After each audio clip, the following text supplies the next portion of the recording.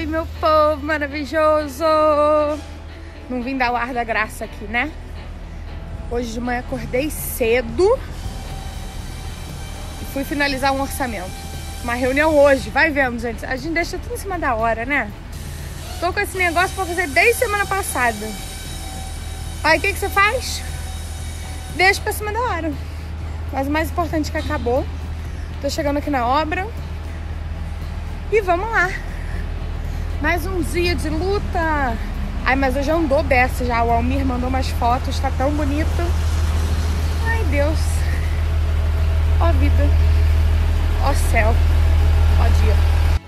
Ô, gente. Estamos terminando. Ai, graças a Deus. Estamos terminando esse negócio. Vou mostrar pra vocês o que, que a gente fez. Que a gente bateu linha. Batemos linha em tudo aqui. Batemos linha em tudo.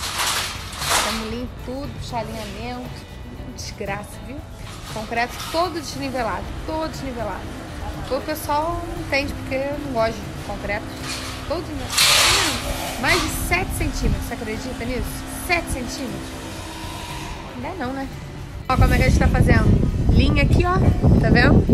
Aí vai os perfis aqui, vai receber os montantes. Ali mesma coisa.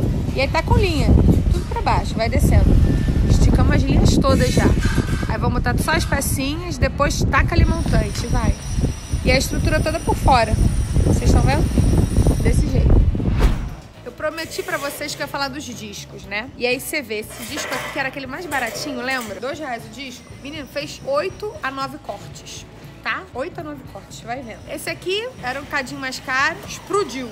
Explodiu na orelha do menino, explodiu, explodiu nas orelhas do menino. Mas também não cortou nada, esse aqui não cortou nada também. Aí a gente tem aqui esse azul, esse aqui azul bom, esse aqui rendeu bem, viu? Só ficou meio bambo na nossa máquina, a nossa máquina encaixou muito bem aqui, ó. Tá vendo? Tá meio gasto, não ficou muito bom não. E o melhor no final das contas foi o da Maquita mesmo, que era o mais caro. Faz muito corte, viu? Faz muito corte, tá rendendo o dia inteiro do menino. Feedback dos discos. Compre o mais caro, que os outros comem. Come igual pão. come igual pão. Aqui, ó, Aí a gente guarda bonitinho, eles guardam bonitinho. Olha só, gente. Que diferença. A obra tem que ser assim. A obra tem que ser assim, organizadinha, bonitinha. Só assim vai. Ó, os meninos aqui trabalhando.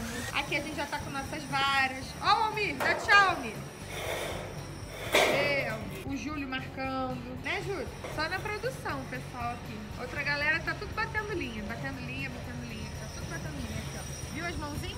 Aí depois, ó, aqui pra baixo, a gente vai colocar os perfis. Esses perfis aqui. E aí, o que, que é interessante? Vai daqui até lá o outro lado, né? Então a gente tá batendo todas as linhas dos níveis, dos andares, né? Porque o prédio desce e a fachada desce, a nossa fachada vai descer. E aí eles estão puxando, tá vendo? Os bracinhos pra baixo. Boa solução. Você que quer fazer fachada, recomendo.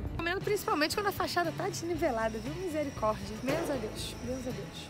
Ai, vou aproveitar e mostrar um truque que a gente fez, porque a gente tem peças muito grandes, né? A gente vai ter umas peças que vão ter 17 metros. E aí, como é que você faz para manter o alinhamento das peças? Sem gastar muito na emenda, né? Porque tem uma galera que puxa umas emendas. Se eu deixasse o Almir, ele ia gastar o perfil inteiro só fazendo emenda. Esse é tudo duplo. Aí eu vou mostrar pra você que legal o que, que a gente fez. Aqui no chão a gente pegou uma guia, tá vendo?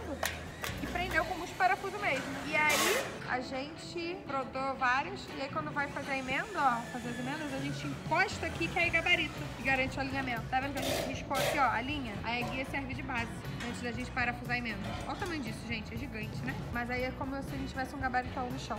Senhor, hoje se essa estrutura não ficar em pé, eu acho que eu morro. É sério.